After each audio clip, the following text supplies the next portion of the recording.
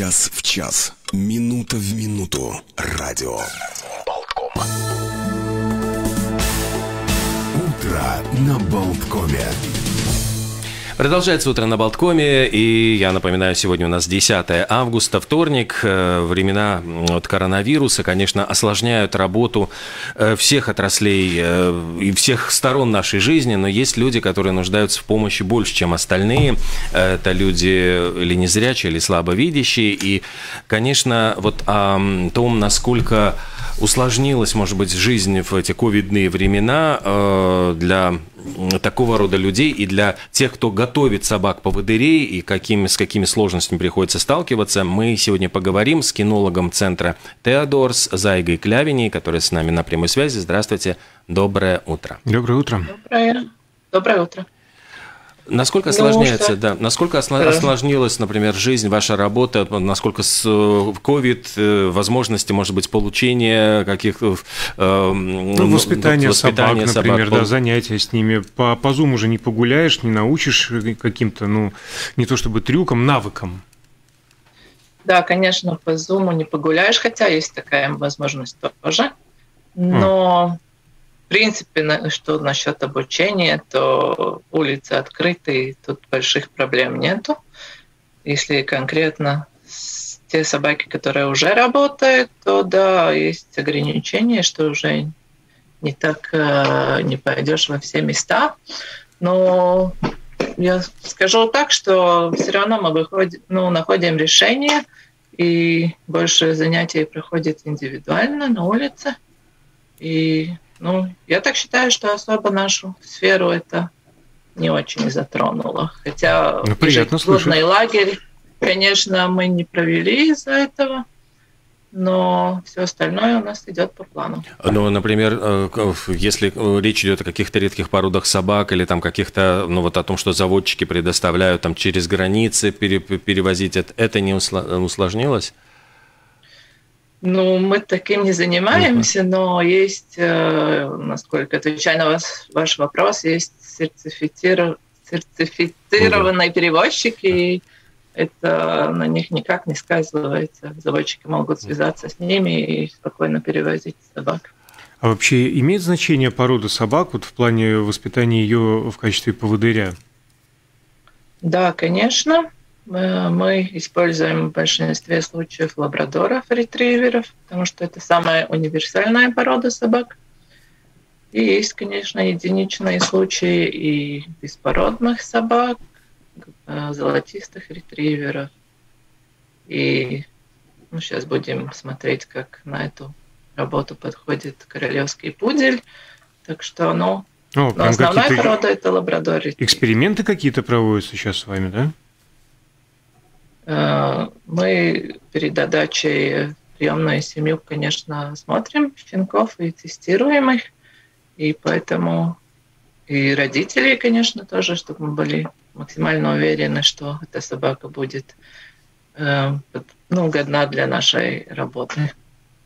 Скажите, а э, вот если мы говорим про COVID, про вот все ограничения, как собаки, вот, скажем, незрячий человек может не видеть, э, а, ну, что магазины закрыты, он не может прочитать эту информацию, может быть, только услышать. А собака понимает, например, вот, э, что может быть ограничение, в, если человек ходит все время в большой торговый центр за, за, закупаться, ну, раз в неделю, и вдруг закрывается этот центр, поскольку э, были ограничения. Вот как, как в этом случае ведут себя собаки? Они не, ведут его по старому маршруту или они могут понять, э, с ними можно договориться? Если, да, если двери закрыты, конечно, собака останавливается, и тогда уже надежда на тех, которые прожил, ну, которые находятся рядом, чтобы подсказали, что магазин закрыт. Конечно, собак мы еще читать не научили. На ближайшем будущем это тоже вряд ли. Но да, собаки тоже приспосабливаются. Если какой-то маршрут меняется, то учат новый маршрут, мы помогаем в этом. И, ну да.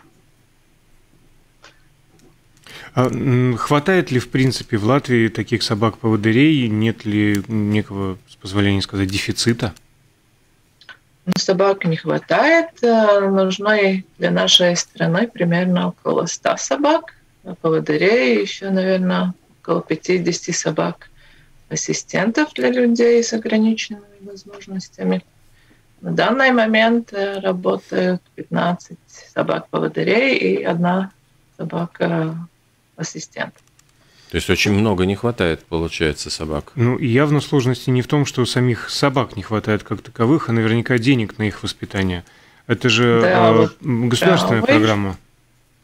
Нет, это все время была как бы волонтерская работа и работали на пожертвования. И вот сейчас последний проект есть э, э, какое-то участие государства, но это все равно капля в море, потому что людей действительно много, которые хотят, и те собаки, которые у нас сейчас работают, они уже преклонном возрасте некоторые, и скоро придется менять. Поэтому не знаю, как будет в дальнейшем, но будем надеяться, что будет какая-то поддержка с государства тоже. Потому что на одни пожертвования, ну, это трудно собрать такую сумму, чтобы подготовить собаку. Ну, наверняка вы и ваши коллеги обращались в соответственные органы, там, Министерства благосостояния или... Да. Что отвечают? Да, да, конечно. Мы регулярно обращаемся, пишем. У нас э, этот год как бы такой положительный. Были несколько эффективных встреч. И ну, по итогам, которые у нас сейчас ну, подготавливается пять собак.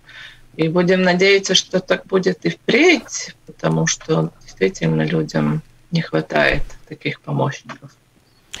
Мы беседуем с Зайгой Клявиной, кинологом э, центра Теодорс, и говорим о воспитании собак-поводырей, в том числе в ковидных условиях. Да, и вот э, вы уже упомянули о том, что стареют собаки. Вот действительно ведь э, невозможно подгадать.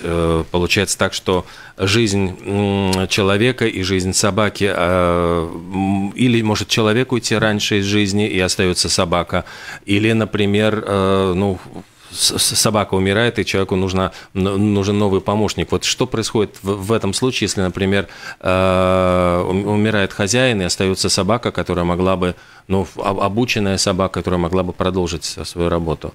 В нашей практике только один случай такой, слава богу, был, и собака была довольно молодая, около не ошибаюсь, около трех или четырех лет. И тогда мы после курса рехабилитации собаки потому что она была при хозяине, очень переживала все это, видела. И, ну да, после такого буквально двухмесячного курса мы смогли собаку выдернуть с этого состояния и подобрали нового хозяина, и собака успешно работала дальше. И, ну, наоборот, конечно, бывает э, больше, когда собака состаривается или какая-то болезнь. Недавно у нас хорошая собачка погибла от э, опухоли. Тоже никто не подозревал даже. Да, и хозяин остался без собаки сейчас. И ждет новую собаку. И как много времени требуется на воспитание одной собаки? Ну, примерно около двух лет начиная с момента передачи щенка приемную семью и потом уже дальнейшее обучение. А есть ли какая-то практика вот пенсии для пожилых собак, например, ну, которые уже действительно не могут исполнять свои функции, но, но достойно трудились? И... Да, если мы ну, смотрим, у нас регулярно ветеринарный врач осматривает э, собак и делает проверку зрения также. И если мы видим, что собака уже не может э, хорошо исполнять свои обязанности, то мы ищем семью. Она также называется приемная семья для таких собак. И в этом году у нас мы нашли прекрасную семью Цесис, недалеко от Цесис, и там э, сейчас живет одна собачка по кличке Зана, и вторая собака у нас перед этим, э, но она осталась жить у самого человека с проблемами зрения, потому что там есть обстоятельства, есть частный дом. Так что сейчас у одного человека две собаки, а приемная семья да, заботиться да, об этой новой собачке, которая на пенсии. Ну, это красиво. Сначала собака заботилась о человеке, потом он о ней. А скажите, пожалуйста, говоря о пожертвованиях, э, если у кого-то, мы очень надеемся, что появится желание помочь материально, как это можно сделать? Ну, самое простое – это через портал zdot.lv. Там есть наша, э, где можно пожертвовать. Наш проект называется «Сунц вайрака драукс». И это деньги на э, кормление работающих собак и тех, которые на пенсии, и на ветеринарное обслуживание. Это самый быстрый способ. Сунц вайрака драукс, да? Я. Yeah. Угу. Как э, животное, которое сопровождает вот э, человека с проблемами, а может ли оно заходить во все остальные, ну вот туда, куда обычных животных не запускают? Да, конечно, эти собаки допускаются там, где идет их хозяин. И да, в принципе, больших проблем с этим нет. Иногда возникает проблема, если мы где-то в другом городе даем собачку, где еще раньше не было, то в некоторых местах еще люди, ну, как бы не видели никогда, что собака заходит, например, в магазин или в аптеку, или какое-то культурное учреждение, и тогда, да, могут быть вопросы, но мы объясняем, и, как правило, уже на второй раз вообще нет никаких проблем. То есть вы не сталкивались с тем, что э, пытались не пустить куда-то там в магазин, торговый центр или ресторан? То есть все, ну, сталкивались, принципе, но а. я не хочу акцентировать внимание на какой-то единичный случай. Это ну, неправильно, потому что если люди ну, не знали, мы им рассказали, и потом все нормально, то так для этого, для этого мы как раз и рассказываем. Для этого как раз и рассказываем, что да, вот есть такие собаки, обратите внимание, да. смотрите, как здорово они трудятся. Это специальные собаки, им нужно туда заходить, и не надо им мешать, не надо возмущаться. Что это такое в магазин с собакой? Да, вот это все в порядке вещей, так и должно быть. Да, а... но в большинстве случаев так и есть, что нет проблем. И люди отзывчивые не только угу. там охрана и угу. кассе стараются помочь чем-то, если где-то что надо. Или, например, в зале, если человек один с собакой, то тоже подходит и спрашивает, чем помочь, потому что ну, собака не прочитает, где продукты. Э, если часто ходить в тот же магазин, конечно, собака учится, можно сказать, ей хлеб или молоко она найдет, но, конечно, лучше э, человека другого никто не поможет. Э, что касается, вот возвращаясь все время к ковиду, насколько здесь вот собаки пони, ну, вот понимают или могут э, э, ну вот хозяина провести, может быть, по каким-то, вот не знаю, маршрутам, по каким-то в ситуациях, когда нужно, нужно заходить в помещение, понимают ли они, что хозяин, если надевает маску, как не пугаются ли они, что какие-то непонятные манипуляции?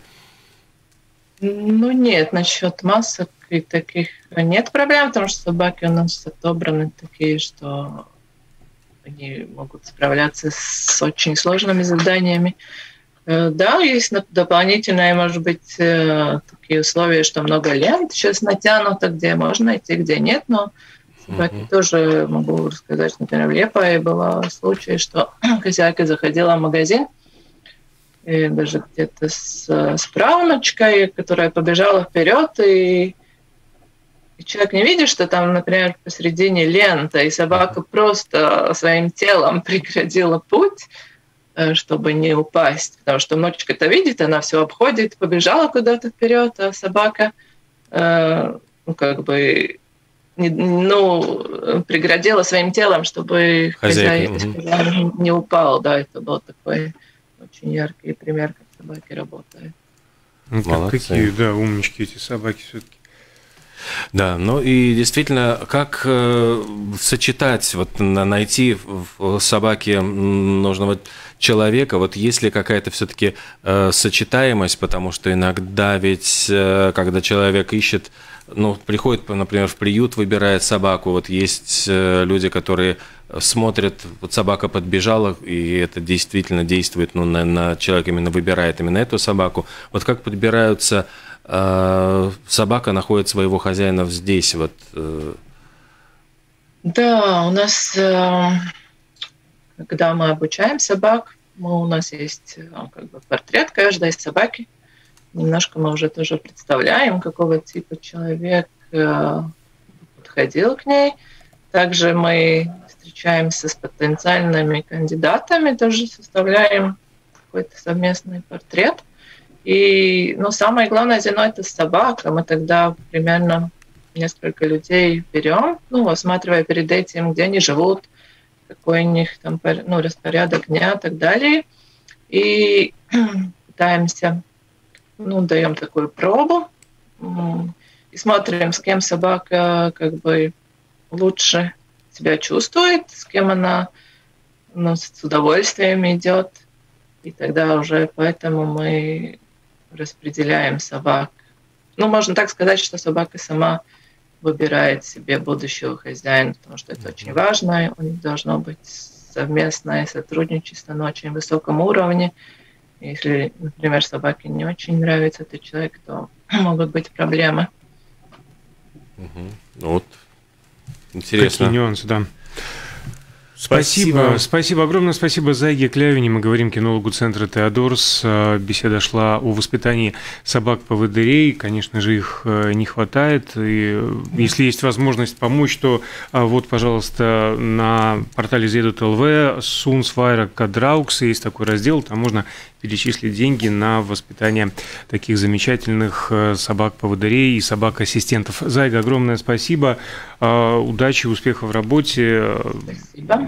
Да, Всего что хорошего. ж, а, у нас небольшая пауза, после которой мы вернемся в эфир, поговорим, а, продолжим тему образования, но уже не животных, а людей. Утро на.